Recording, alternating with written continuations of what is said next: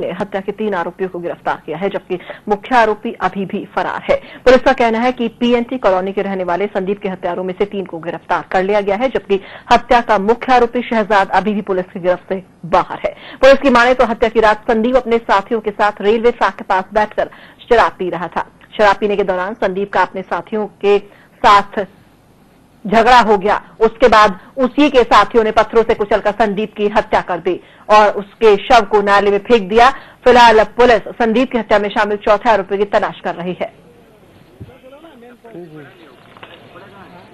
सीधा सीधा भी कराया